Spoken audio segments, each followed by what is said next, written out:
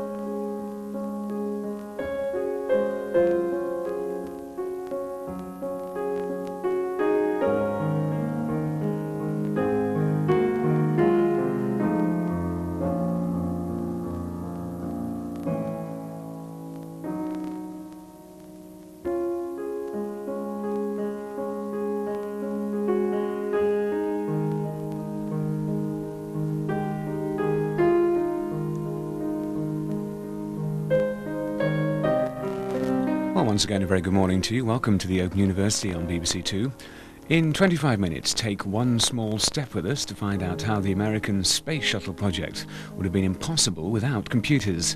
Then it's into the management boardroom where the power of information technology seems to be inspiring a more creative approach, strategy on the screen, at 10 to 7. And at 7.15, a theatre trip to Edinburgh for an adaptation of a 16th century play by Sir David Lindsay, in which the common people are in battle against the three estates. First, a look at how Einstein's the special theory of relativity transformed our understanding of space and time in A Conflict Brought to Light.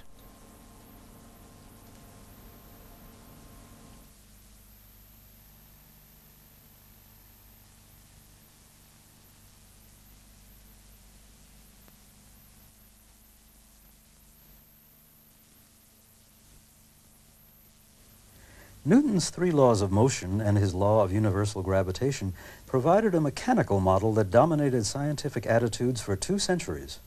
In the 19th century, the Scottish physicist James Clerk Maxwell developed new concepts for electromagnetism that were to challenge the Newtonian model. But because the two theories were successful in their own very different domains, any possibility of a confrontation seemed remote indeed. Toward the end of that century, Albert Einstein recognized the inevitability of a conflict.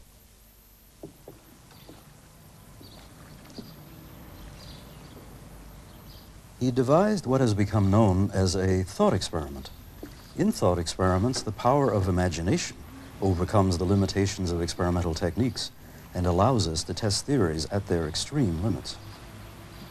Let's enter the world of his imagination.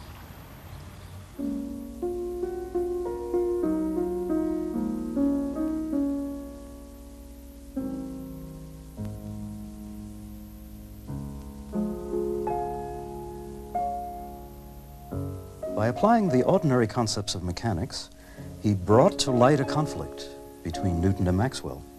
It follows from first principles.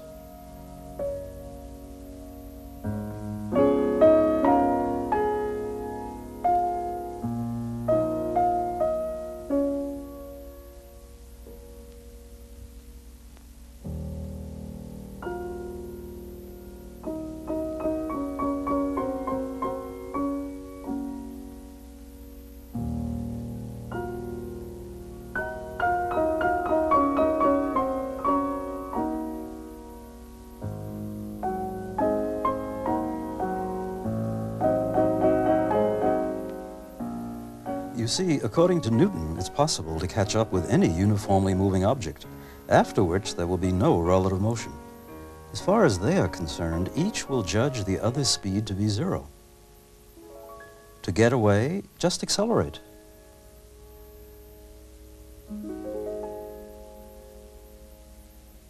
But in theory, the bicycle can catch up again, because according to Newton, there is no upper limit to speeds. Uh, that is, in theory.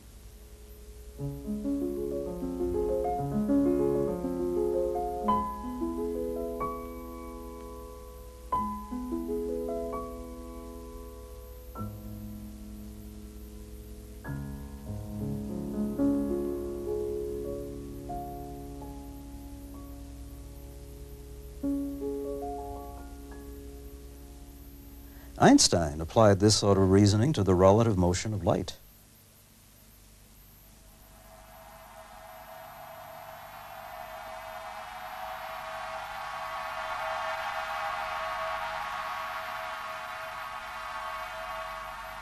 Suppose that instead of the boat, the uniformly moving object was light, pulses of light.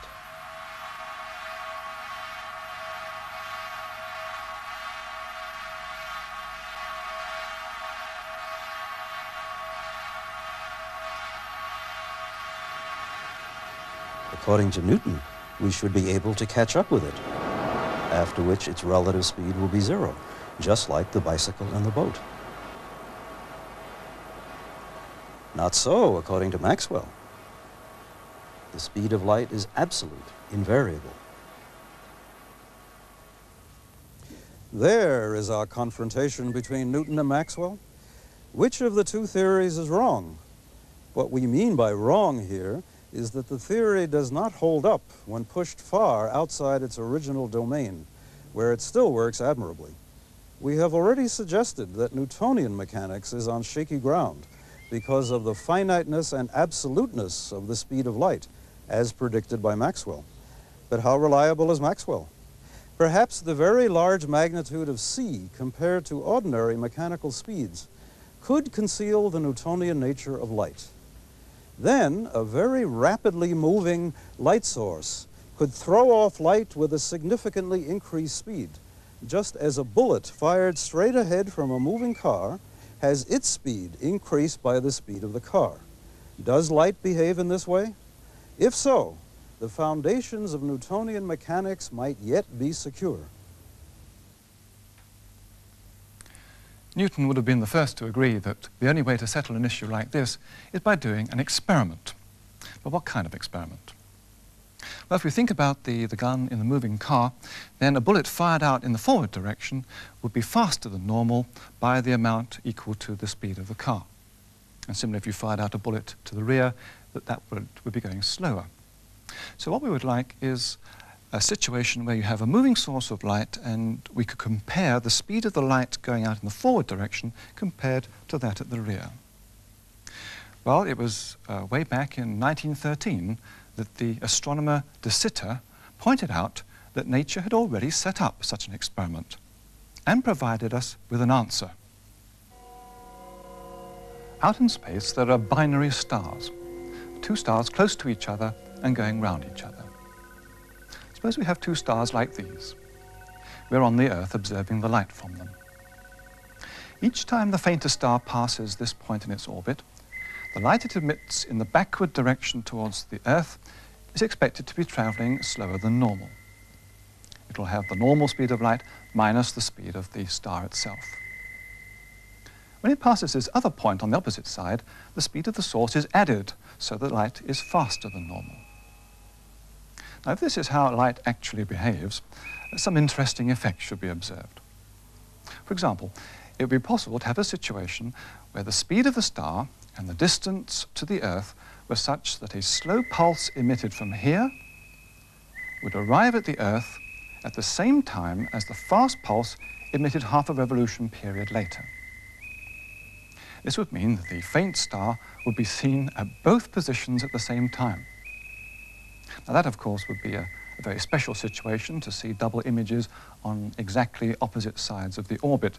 But in general, there would be multiple images and spread out images uh, if the speed of light really did depend on the speed of the source. But as De Sitter pointed out, the images of binary stars are perfectly well behaved.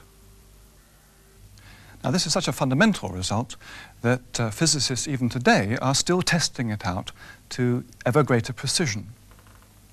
For example, um, there was a worry that perhaps somehow the interstellar gas between us and the binary star system might be affecting the observation. After all, it's known that when light passes through air, it tends to slow down a bit compared to its speed in a vacuum. And, uh, well, the way to get around that problem is to use a different form of electromagnetic radiation, X-rays, which one knows are hardly affected at all by their passage through air. So in 1977, the same experiment was repeated again, but this time using binary stars emitting X-rays. But the result was the same. There was still absolutely uh, no effect, no, no double images, and no smearing out. And this experiment was done to a precision which was five orders of magnitude greater than that of De Sitter. And so now the present situation is that we can say that if there is a tendency for the, the speed of the source to add part of its motion onto that of light, then the fraction added cannot be greater than two parts in a thousand million. So it's, it's pretty certain that we can say that the speed of light is certainly not affected by the speed of the source. So Maxwell is right at least in that the speed of light is not affected by the motion of the light source, as Newton would have had it. Now how do we stand with the Einstein thought experiment? There, a light source, the lamp, emits pulses of light, and a spaceship sets out to catch them. Suppose that after the spaceship has gotten up to a decent speed, the spacemen look back at the lamp. They see it rapidly receding, a moving source of light. But we now know experimentally that the motion of the source has no effect on the speed of light. Their efforts to catch the light have been in vain. They can never travel as fast as light. But wait. Implicit in that argument is the fundamental idea of Newtonian mechanics that only relative motion counts. It takes for granted that whether the lamp is at rest and the spaceship moving, or the spaceship at rest and the lamp moving, precisely the same physical situation is being described. Could it be that this concept of relativity fails for light and electromagnetism when pushed to the limit, as it certainly is in the Einstein thought experiment? Perhaps Maxwell's theory is only strictly valid in some special reference frame or coordinate system. It might be the one in which the sun is at rest, for example, and an observer in motion relative to that special coordinate system will find that the speed of light has changed. If this were so, it should be possible to exploit the variable velocity of the Earth in its orbit about the Sun in a test for such an effect on the speed of light. This is the famous Michelson-Morley experiment. But before we launch into the description of that experiment and its outcome, let's explain the basis of the experiment through a simple analogy. High in the atmosphere, winds blow a great speed. They are known as jet streams. These winds have a significant effect on airplane schedules. To allow for them, we must know their speed and direction. Our story begins at Los Angeles International Airport, LAX for short. An airport dispatcher wants to get that jet stream information. He sends two planes off at the same time, one eastward to Dallas and the other northward to Calgary. These two cities are almost equally distant from LAX. The pilots are instructed to fly round trips to their respective cities at the same speed in still air.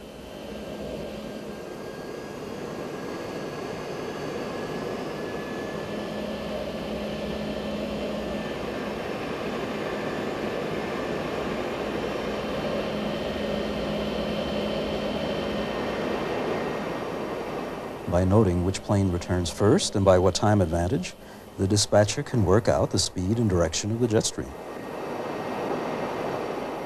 To explain what he has in mind, let's suppose the jet stream is running directly to the east at a fixed speed, say 600 kilometers per hour. If the speed of the aircraft is 1,000 kilometers per hour, then its speed eastward is increased by the jet stream to 1,600 kilometers per hour.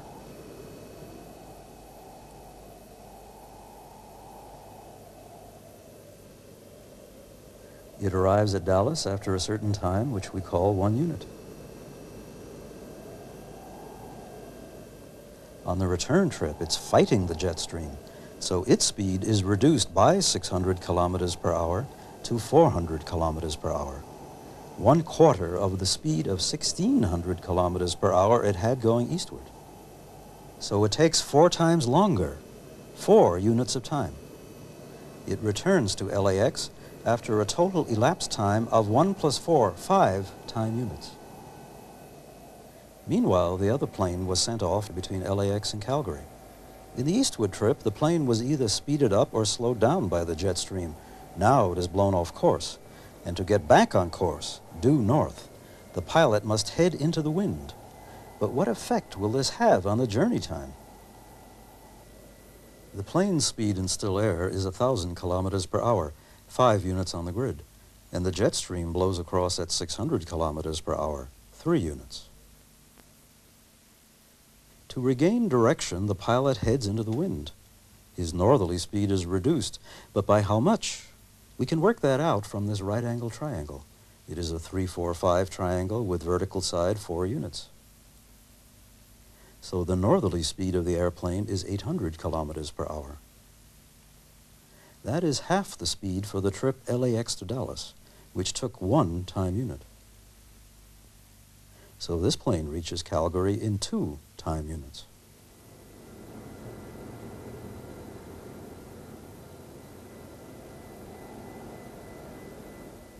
On the return trip to LAX, it must again head into the wind, and this leg also takes two time units. Now we see the outcome. The round trip perpendicular to the jet stream takes only four time units, whereas the round trip parallel to the jet stream takes five time units. So our airport dispatcher can use the knowledge of which was the longer trip to learn the direction of the jet stream. And from the ratio of the time units, here 5 to 4, he can learn the speed of the jet stream. Now remember that all this is an analogy in which the speed of the airplane in still air becomes the speed of light, and the jet stream is the motion of the Earth relative to the special reference frame. The comparison of the time for a back and forth journey in one direction with that for a perpendicular direction is the attempt to detect and measure such motion. This is the Michelson-Morley experiment. It was carried out in 1887 in Cleveland, Ohio. To perform their delicate experiment, they set up their laboratory in a cellar at the Case School of Applied Science.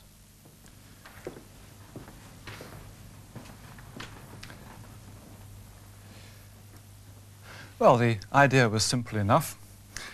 They took light from a source and it went over to this point here. And at this point, the light was split up into two beams which were dispatched at right angles to each other uh, rather like those aircraft. And they went off equal distances and were then reflected back from the mirrors at the far end and came back to the same point. And from here, they then went on into the telescope where they could be viewed. And by looking down the telescope, one had to estimate the difference in the arrival times of the, the two beams. Now, of course, the, the challenge in this experiment is to measure this very, very tiny difference in the arrival times.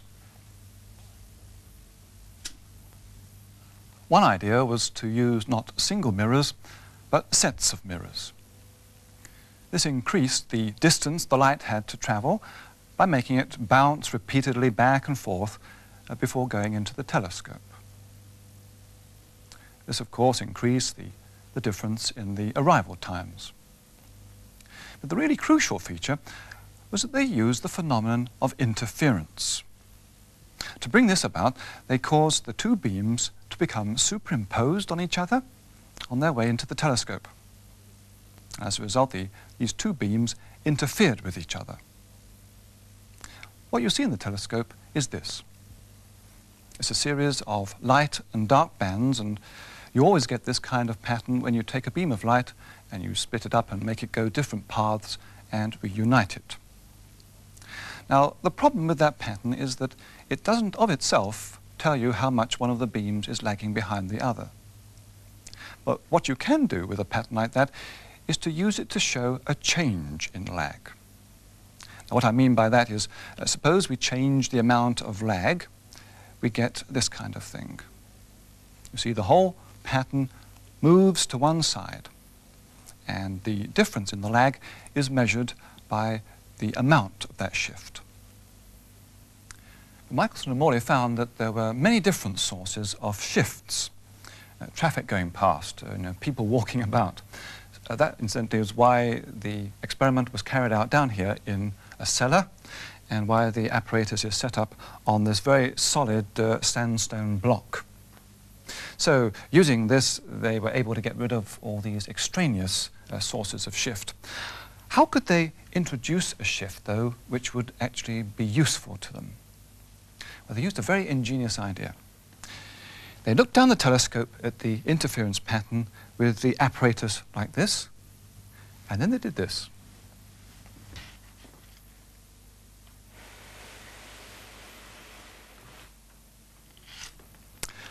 The whole thing rotates. Now, what's the idea? Well, let's suppose those are our two beams at right angles to each other, and for the sake of argument, let's say that this one is lagging behind the other. Now we do a rotation, and let's say it goes through 90 degrees, and when that happens, we've now interchanged the beams, and it's now this one which is doing the lagging. So the rotation introduces a change in the lag, and that should show itself up in the telescope by seeing the interference pattern move bodily over to one side. And by measuring the amount of that shift, that will tell us the size of the lag. So what did Michelson and Morley find? Nothing. Absolutely nothing. During the rotation, the, the pattern just stayed completely stationary. And the only way to, uh, to explain that is by saying that the arrival times of the two beams are identical, that one does not lag behind the other. In other words, that the, the motion of the Earth around the Sun in no way affects the speed of light. And uh, this experiment has now been repeated in a modern version using a laser rather than this source. And the modern version has shown that the effect that Michelson and Morley were looking for is not there to less than one part in a thousand.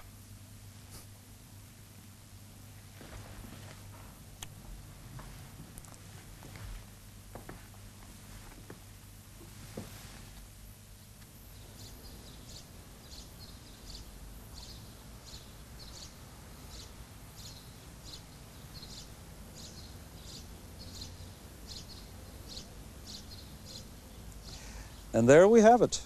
There is no special reference frame where the behavior of light is somehow simpler than in any other frame. The principle of relativity does apply to the motion of light. But we have seen in this program how different light is compared with the objects of ordinary experience. The speed of light is an absolute barrier. Not only can it never be crossed, it can never even be attained by a material body. Perhaps you're saying this is all too strange, too bizarre to be true. But it's the real world we've been talking about. If these things seem strange, it's because you are reacting to them with the conditioning that our limited earthbound experience has given us as set down in the Newtonian concepts of space and time. It is not the phenomena that are wrong, it is the Newtonian space-time concepts that are wrong when they are applied very far from the circumstances for which they were originally conceived and still admirably represent. It is just this necessary reconstruction of the concepts of space and time that Einstein did for us in 1905 when he created his special theory of relativity. And in doing so, he made use of and reconciled the two basic ideas of this program. They are the principle of relativity that the descriptions provided by two observers in constant relative motion are equally valid. Stated more generally, the laws of physics are the same for both, and that among those laws is the absoluteness of the speed of light, that the speed of light is the same for any two observers in constant relative motion.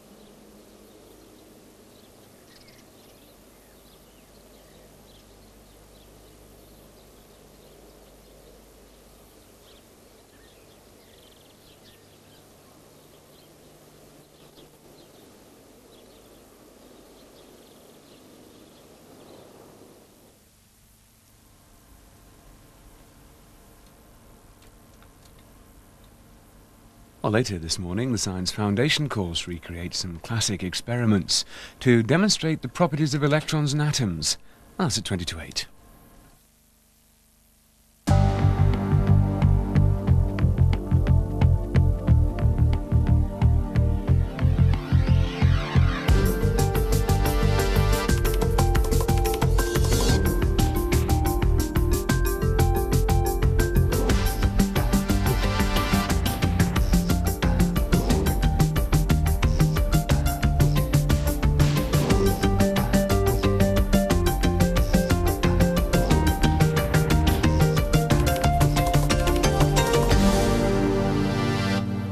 details about the Open University, you can ring us on 01908 653 231.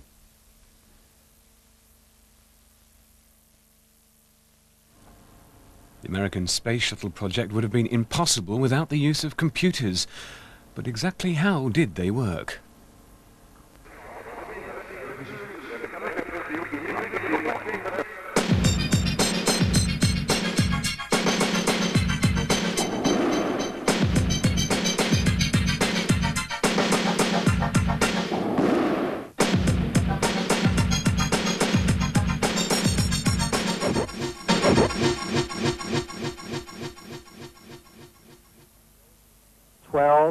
Twelve, eleven, ten. We're go for main engine ignition. Seven, six. We have main engine ignition. Four, three, two, one, zero, and liftoff. Liftoff of the orbiter Challenger and the sixth flight of the space shuttle. The shuttle has cleared the tower. The American manned space program began in the early 1960s. After successfully reaching the moon, the American Space Agency NASA chose a project involving a reusable space vehicle, the Space Shuttle. Unlike previous spacecraft, this wasn't just a rocket. The shuttle orbiter had wings and could be flown through the atmosphere like an aeroplane, although on launch it needed two large booster rockets. The first shuttle flight was in 1981, and launches continued until the explosion which destroyed the Challenger orbiter at the beginning of 1986. In the lull after the Challenger disaster, NASA took the opportunity to consolidate some of the development work they'd been carrying out.